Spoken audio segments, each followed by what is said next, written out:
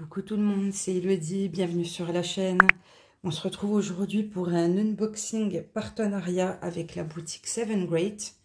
Donc c'est la première fois que j'ai un partenariat avec eux. Bah écoutez, je suis contente euh, qui m'ait contacté. Euh, au niveau de la boutique, c'est une boutique qui fait uniquement du point de croix, donc il y a énormément de choix.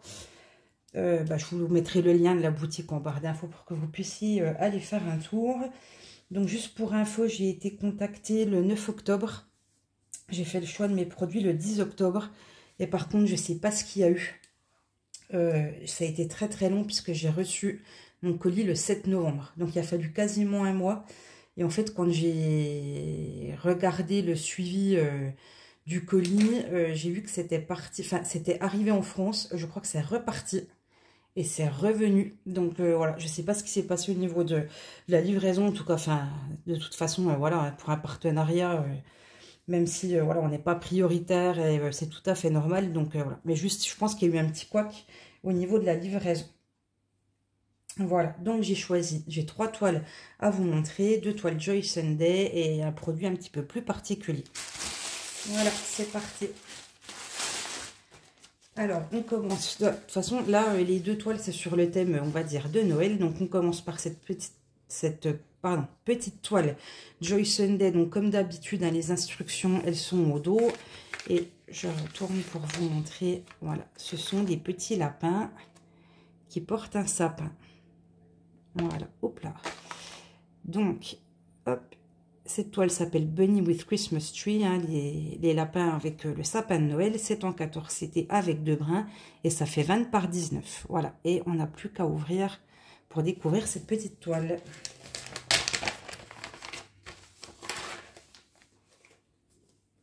Alors, on va commencer par le patron.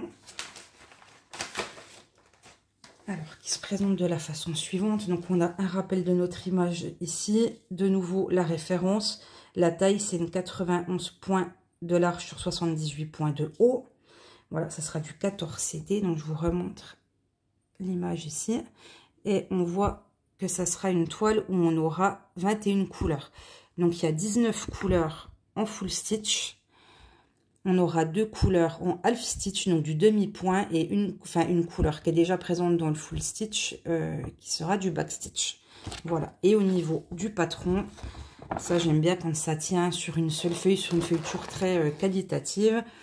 Toujours très très bien imprimé, comme d'habitude, enfin, force avec Joy Sunday, on a l'habitude. Donc euh, ça va être sympa. Il y a un petit peu de backstitch après sans que ça soit euh, excessif. Donc on a le tour de la lune et des étoiles, euh, le tour du sapin et le tour des lapins. Voilà, donc à voir. Et tout ce qui va être half stitch, c'est tout ce qui va être autour un petit peu le ciel, on va dire neigeux et le soleil. Voilà. Donc on va regarder tout de suite les couleurs. Au niveau de la cartonnette, c'est la nouvelle cartonnette de chez Joy Sunday. Donc Cartonnette qui est plutôt sympa avec toujours deux aiguilles qui sont ici dans le petit sachet.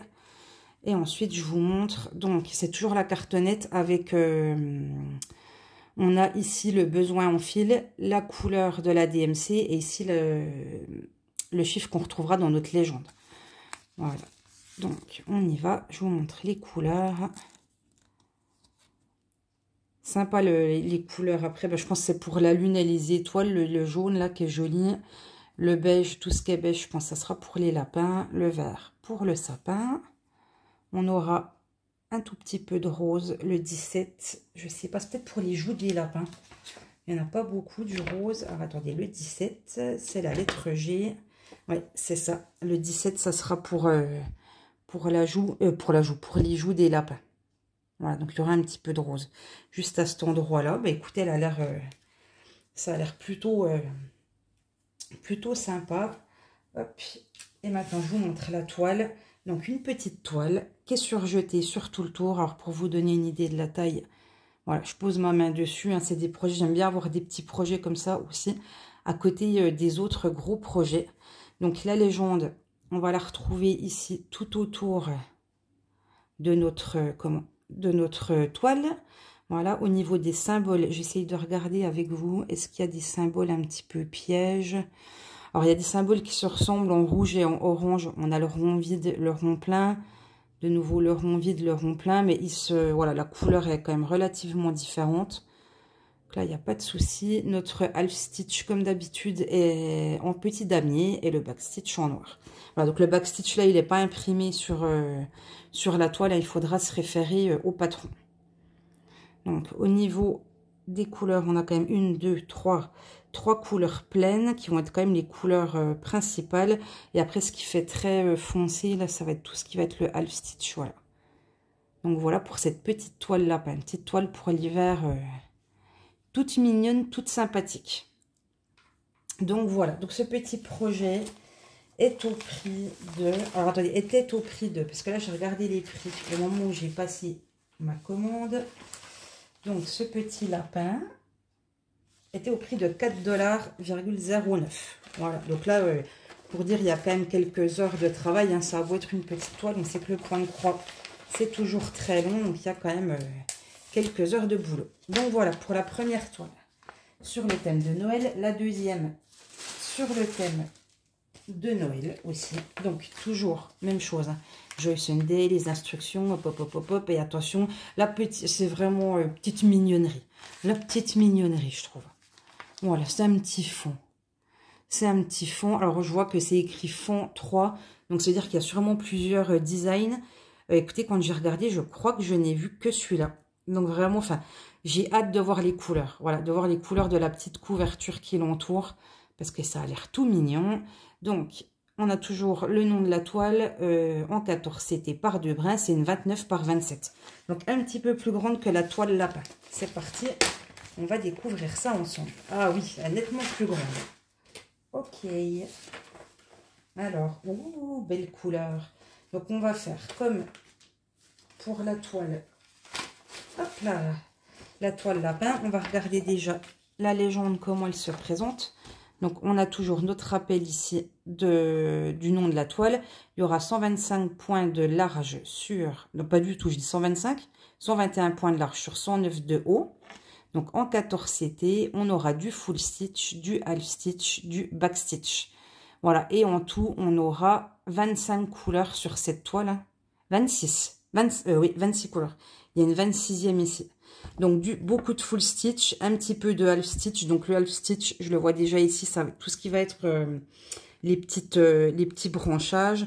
Et donc, on aura du backstitch euh, qui va représenter... Ouais, le backstitch, je pense que ça va, ça va pas être trop énorme. Donc, il y aura les branchages et on aura le tour du fond. Donc, le patron, il se présente sur une feuille A4. Donc, toujours pareil, très qualitative en papier glacé. Donc, c'est un petit peu sur deux côtés, parce qu'il n'y pas la place de mettre la fin de l'autre côté.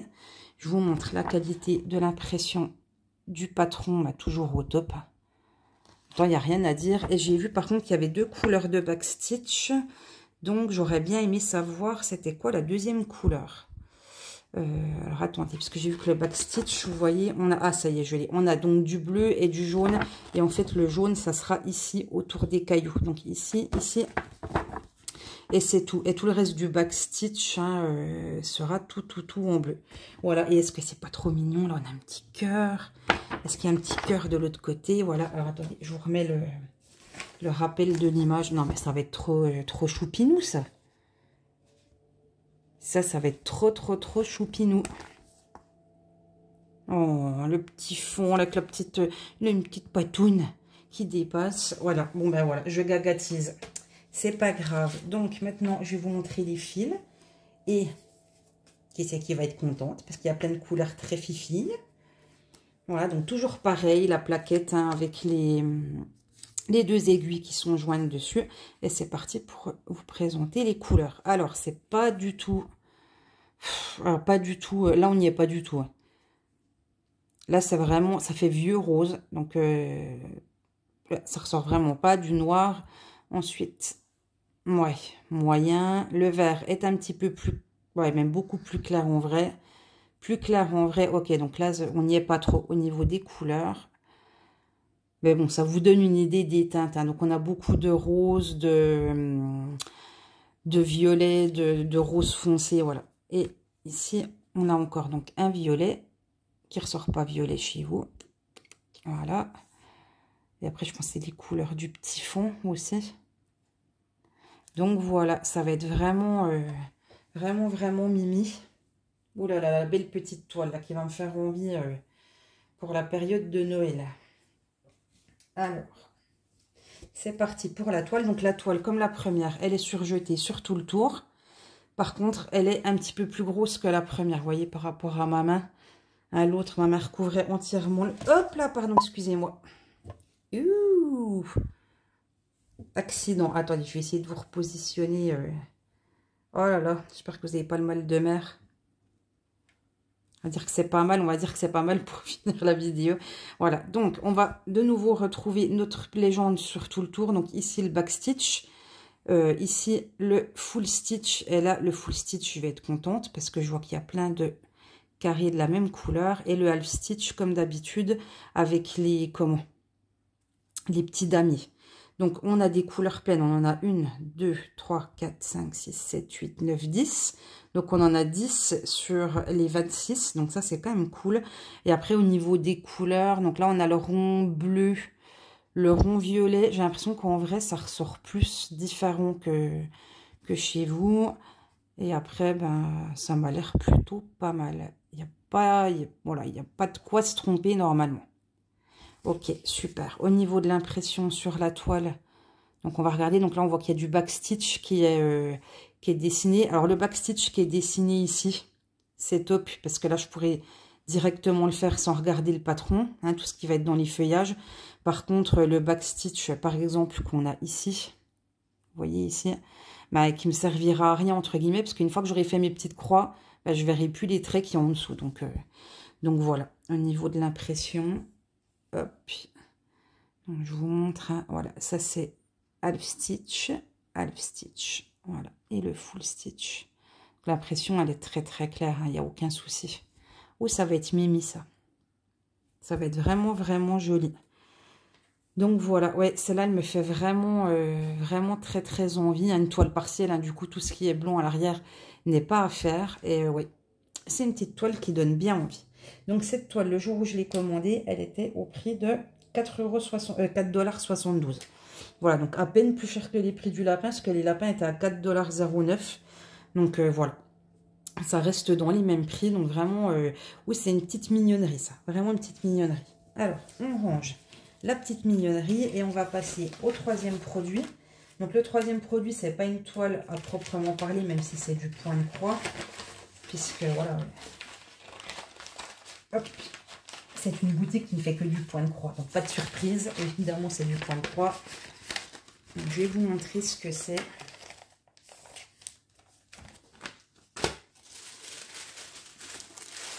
Voilà. Donc, il s'agit de ceci. Donc, c'est un marque-page sur le thème de Harry Potter. Donc, je ne vous cache pas que j'essaye d'avoir un marque-page dans plusieurs partenariats que je trouve mais tellement mignon avec... Euh, c'est un petit peu... Euh, le rappel euh, de la savane où on a un petit motif girafe, un petit motif zèbre, on a un petit lion. Et euh, j'aimerais trop me faire ce marque-page, mais à chaque fois, je crois que je l'ai déjà demandé euh, trois fois dans les boutiques en partenariat, et à chaque fois on me dit qu'il est en rupture de stock. Et du coup, comme j'avais quand même envie de faire un petit marque-page, j'ai pris le marque-page Harry Potter. Donc il se présente comme ceci sous blister. On a le rappel de notre image ici. Le nombre de couleurs, il y en a 6. On nous explique comment on fait une croix. Voilà, donc on nous dit que c'est du 14 CD, qu'il faut utiliser deux brins pour euh, broder, que l'image fait 30 euh, points de large sur 104 points de haut. Et on va ouvrir tout ça, voir ce qu'il y a à l'intérieur.